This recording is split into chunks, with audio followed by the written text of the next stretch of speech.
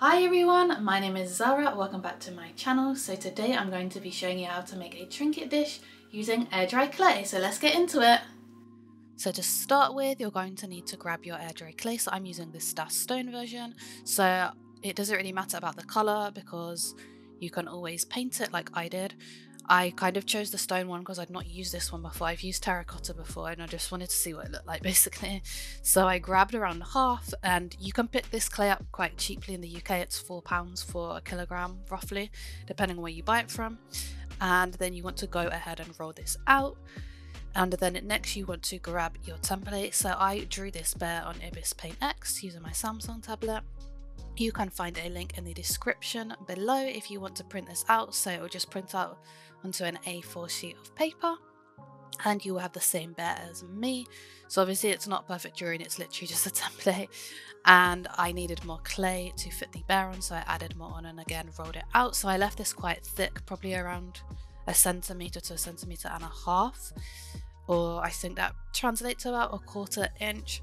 And then I went ahead and put my bear template on and cut around it with my craft knife. So you don't really need any fancy tools for this. If you don't have like a craft knife or an exacto knife you could always just use a knife from your kitchen. So yeah I cut around the bear and then I ran my knife just around the edge again to make sure it was nice and neat and that I went all the way through so I think right now it kind of looks like a silhouette of a bear wearing like a ghost costume, you know, like in a cartoon where they put a sheet over their head. It kind of looks like that.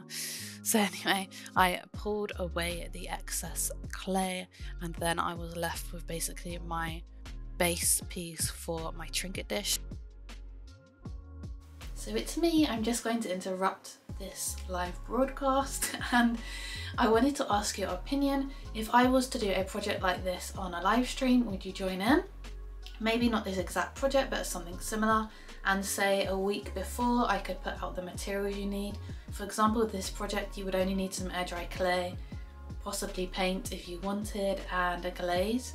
So yeah, would you be interested? Let me know in the comments and yeah, let's continue with this project. And to prevent this from drying out, I just put some water in a little dish and then dipped my fingertips in and rubbed over the clay. Then I moved on to doing the mouth. So I didn't want this to kind of protrude too much for out of the dish, so I just used my fingertips to flatten the clay out. And then I went ahead and cut around the circle for like the mouth. You can just use your rolling pin as well or a bottle to roll out the clay if you don't want to use your fingertips. And then I just pressed down the edges of like that circle mouthpiece just to make it a bit neater and get rid of that edge.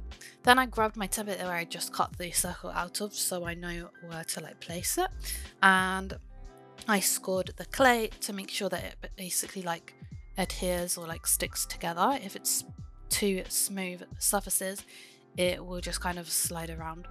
Then I just pressed this down, so that's like the mouthpiece done. For the edge of the trinket dish, I cut these strips, which were three centimeters in width. The length didn't really matter too much. I ended up cutting around, yeah, I used three of these strips. So two of them were quite long, I believe, and then one of them was like a bit shorter. And I just made sure that they were, you know, a nice kind of neatish edge, like straight edge left and right and top and bottom. So just using my ruler and a craft knife. So to add the edges on, you want to score. So I scored the edge of the bear and also the bottom part of the edge where this is going to basically attach onto like the bottom of the trinket dish. So I pressed this up against the bear gently and then I grabbed my clay tool, which has a silicone tip, and basically pushed it in between. So I used one hand to push the edge against the bottom, and then I used my clay tool to basically push down in the middle of the bottom of the trinket dish and also the edge I'm adding on. And this should basically make the uh, clay stick together and kind of adhere. You can see like there's an indent where I've pushed it together and this will help the clay stick together and hopefully once your dish dries out your edge will be on it perfectly. So once you've put your first piece on, you want to add your second piece and do the same again. So just gently pushing it against the edge and then using you can use a um, fingertip or another tool if you don't have one like this and just push it together. So I've got really long nails on while I was making this not probably not the best but I couldn't really use my fingertip or too well. And then to push the two pieces together like the two edges just use your fingertips or a clay tool to like mold them together and like rough them up and then squash it back in to position or like into shape basically. And then you can add your last piece on. So yeah I used three pieces for this and my last piece was just a bit too long.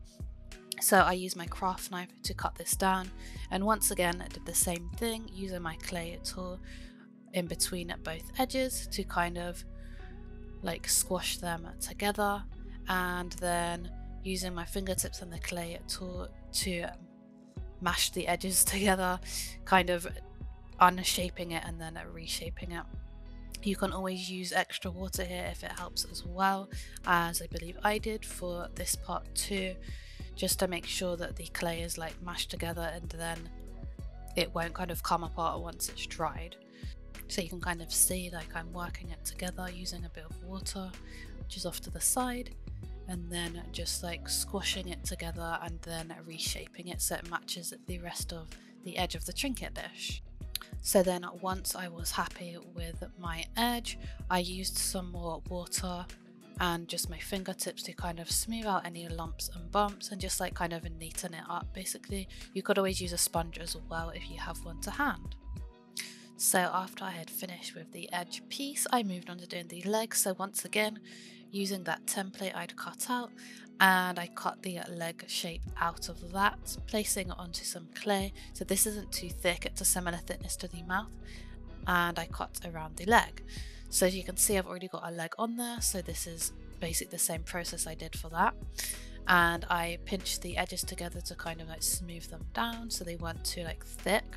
And then I scored the back and I'd already scored the trinket dish where I was placing the leg and pressed this down onto there. So I wasn't happy with like how tall the legs were basically. So I decided to grab my craft knife and basically like cut some of the tops off. And then I just used my fingers to smooth it all down. And then I grabbed my clay tool to kind of add a bit of an edge around the legs. And then basically my trinket dish was done and I left this to dry for around 48 hours on the windowsill. And here's how it turned out. So I think it looks really nice in this stone colour. So if you're happy with that colour, you could kind of just leave it and maybe glaze it. But I decided to paint it, so I'm using these Arteza Outdoor acrylics. And I painted the body in this like lilac-y colour. So I didn't even realise, but I basically made the same colour as my nails are now in this part of the video. I didn't realise until after I'd painted it, but yeah. And I did the mouthpiece as well. And then I used this fine line pen to add in like the black of the eyes and then a purple one to add on like the nose and the mouth. So I actually like rubbed this off when I went to glaze it, but you will see that shortly. So then I ended up changing the color to pink and I didn't even realize that I'd picked up the pink, but it worked. And then I used my sponge brush just to add in some extra color and detail. I thought it did look really cute in the purpley color, but kind of a bit plain. And I wanted to make it look I don't know, a bit more me, I guess, just to add a bit more, like, I don't know, colour, style, whatever you want to call it. So I used like a mixture of this blue and then turquoise pink and the original purple that I mixed up to get the lilac colour on the base. I feel like it looks like a bear who got into the paints and kind of, I don't know, had a messy time either painting or just falling into a paint cupboard and now he's covered in all this paint. What do you think? Do you like this style or would you have left it plain? Let me know in the comment. So lastly I used this acrylic glazing medium and I just poured this over and use a brush to spread it around so this is just going to help give it some extra shine and also protect it. You can always use like Mod Podge, I know that they've got various Mod Podges out there. I don't think it's as popular in the UK, but I know it is in the US. So yeah, you can use that or you could even use resin and make it, you know, really, really shine. And as you can see, I brushed off the mouth that I drew earlier. So I dabbed it a bit with a tissue and then redrew it. So I waited for that to dry and reglazed over it. And then here is how the final dish turned out. So here is how my trinket dish turned out. Let me know in the comments if you like this and let me know if you're actually going to make one of these yourself. Would you make this for a friend? Tag a friend in the comments below who you would make this for, that would be really cool. And yeah, I hope you enjoyed watching this video. If you did, please leave a like and don't forget to subscribe for more. See you next time. Bye!